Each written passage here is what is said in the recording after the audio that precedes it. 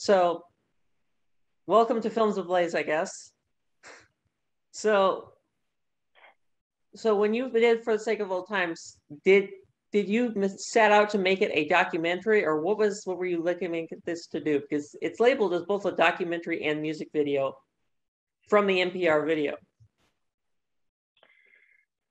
So it doesn't fit neatly into one of these categories documentary, music video, short film.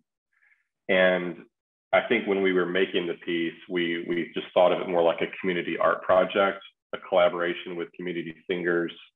Um, it was our hope that it would be a symbol of the year. Um, one of the visual motifs in the film are uh, these monuments Mm-hmm. And so, in a way, the film is a monument in and of itself. Um, and our our intention in making the piece was to think about all this reckoning uh, that was happening in 2020, but but start to reimagine.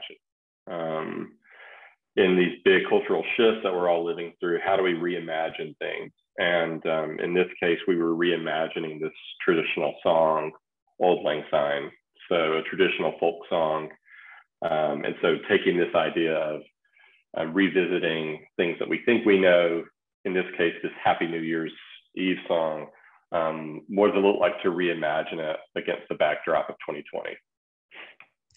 Which now, when did you start the production of this film? Because obviously it was released to YouTube on December 31st. So was that intentional? And um, when did you start production on this? Because like you'd have to be in the middle of the year to know well you got to make a film about reflective about 2020 yeah so we we actually um, filmed this piece in in december of 2020 so um, part of that part of doing it as late as we could in the year was um, we didn't know if, if it was going to be you know, safe enough to get people together in a room. You know, at that time we were all looking month to month. You know, is are we in a lull of COVID or cases spiking? And and we just felt like um, the longer we could wait, maybe the better our chances would be. So um, we waited until the last minute and weren't able to do any rehearsals. So we got together um, on I believe the first or second Saturday of December, and then yeah, the plan from the beginning was to try to release it um, as close to the end of the year as possible. So um, it was an idea that kind of predated a lot of what happened during 2020, and it gave it a lot more. Um, it, it, it obviously responded to the headlines. It responded to COVID. It responded to Black Lives Matter and George Floyd, and um, certainly the monument, the Confederate monument being removed from Birmingham. So the idea um, sort of predated some of those things, but it, it, gave it a lot more purpose and life once we actually got around to filming it. And so I'm, I'm really grateful that we waited. Um, it's it's been kind of a lesson to me of, um, you know, sometimes your your passion projects or your personal projects, you mm-hmm. feel like you've left them on the shelf, but they they sort of find their way out at the right time. And this was the case, just to let it happen naturally and be patient with it. And, and um, a lot of things lined up really well for it. Which um, Auld Lang Syne, I was going to ask you about that, was and about the Birmingham Church. You you felt this film. Were those ideas from the beginning, or did those gradually come in? Yeah. So um, originally we were thinking um, that we would do, the, and this is this is when the idea um, you know, we, we had actually tried to pursue this idea earlier, like before 2020, and um, was thinking about doing this at uh, the 16th Street Baptist Church uh, in the Civil Rights District, or maybe the um, the Bethel Church, which also has civil rights history. And once things got so intense um, during 2020, it seemed maybe more fitting to set it at, a, at this place in Avondale which had been a white church historically and had um, had refused um, black visitors seats during the civil rights movement. And so, yeah, it definitely um, the tone sort of shifted once we once we changed that location. And um, again, I'm glad we did. I'm glad that we, um, you know, didn't try to rush it or force it to be um, another site.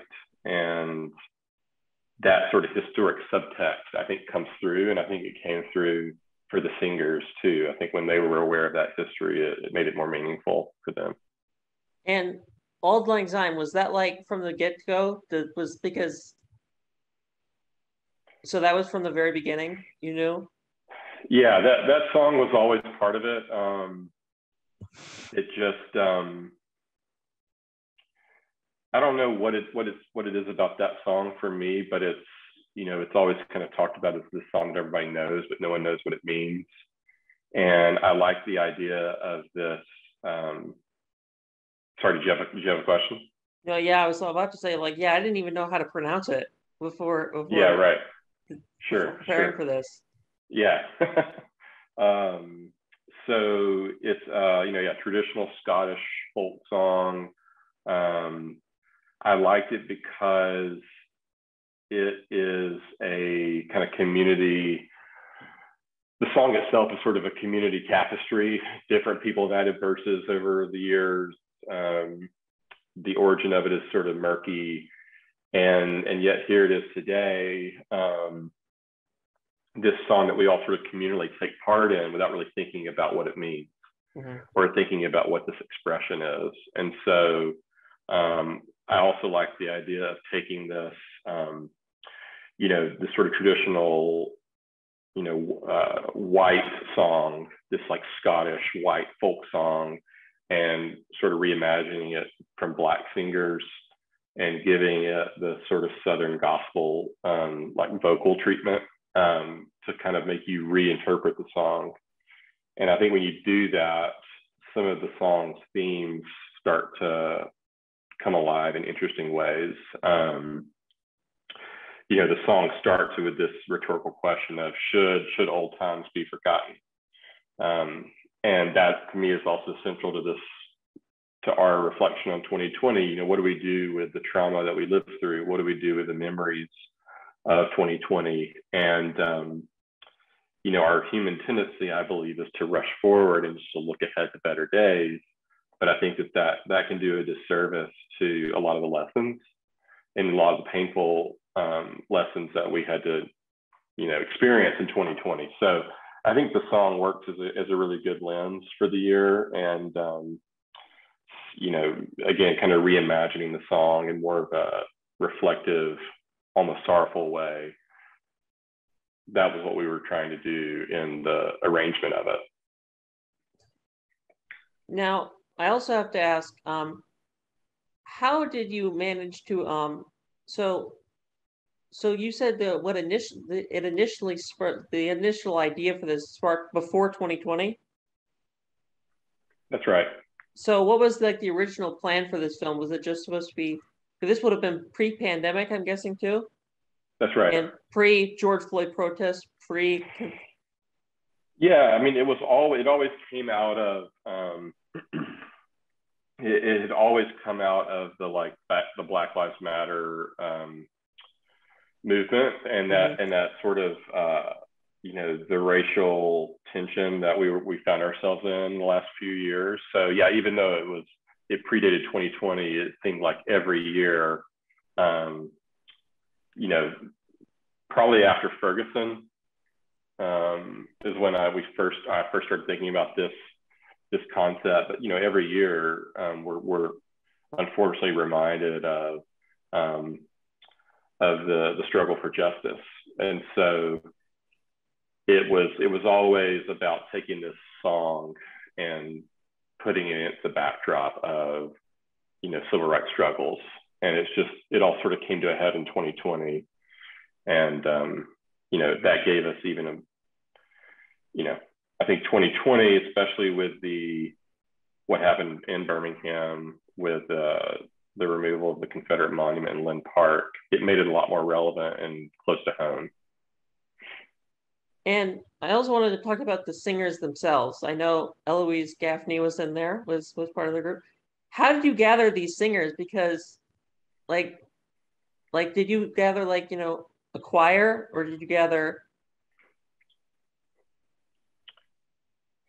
Yeah, so um, it wasn't it wasn't easy to find singers during 2020 because most uh, formal choirs weren't doing live performances. They weren't doing practice, you know, rehearsals. Um, fortunately, I found a few sources through through Miles College, through the I believe one of the choir directors at UAB actually, and started kind of grassroots sourcing singers and singers who knew singers. So this group of people they had never sung together before. They're not a professional like trained group collectively, which again I think makes it feel more like a community response. Um, you know, it was it was beautiful that we had like the mother son pair. Um, and then yeah, Miss Miss Gaffney. So it's um, it really did reflect the community, and we were really fortunate to be able to pull people in who were willing to do this despite all the the COVID risk at that time. Right. And um, actually, the mother son thing is why I didn't see it as a documentary and I saw it more as a reflection kind of thing. Because mm-hmm. he seemed to be reflecting what we're supposed to and we should be all thinking. So mm-hmm. I always thought it was mm-hmm. like, you know, his personal reflection. Mm-hmm. Right. And then, but then obviously, so that's why I didn't think it was like a documentary, or I really didn't think it was a music video. Yeah, I mean, we, um, you know, I, I, I, you know, pull those sort of narrative themes out and and enjoy that kind of, uh, um, you know, the, the symbolism of, you know, knowing that knowing that that first singer is the first is the same age as the um, some of the girls who died in the 16th Street Baptist Church bombing. Um, you know, it's that the sort of narrative elements to me come through. Um, you know, yeah, in the end, when you sort of see him in this empty sanctuary, you know, you can imagine um, that you can sort of interpret that as, you know, what are we passing on to this generation? Um, what is the role of that generation? How do they draw on the ancestors? Um, progress of the past?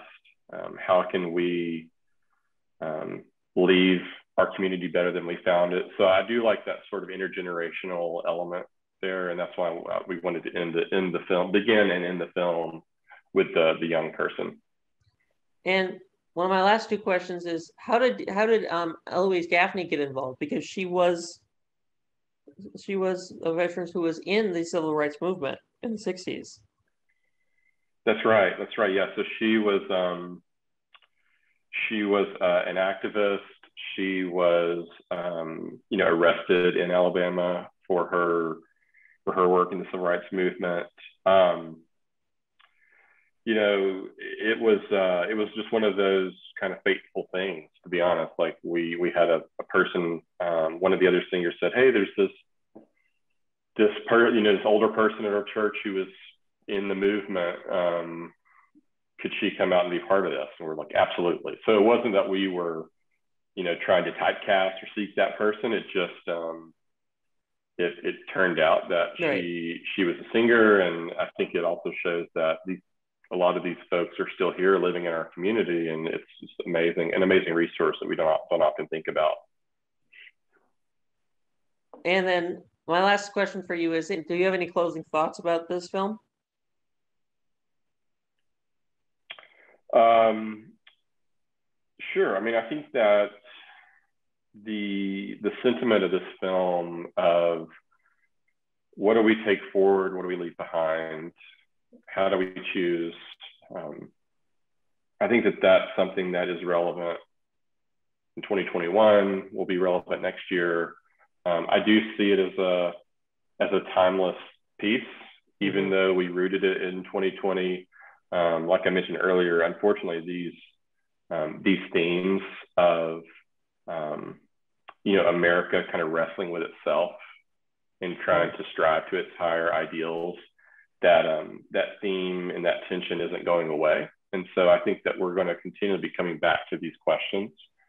Um, and so uh, I would just, I think it's a piece of that that people can revisit. Um, and to me, it also it helps me kind of mark time, um, thinking about the new year. Um, what did we what did we gain and what did we lose? And I think mm-hmm. that that's that continual self-reflection, both personally and as a nation, I, I think is important. Okay, well, thank you. All right. Thank Have you. Have a good day. All right, I appreciate it. Thank you.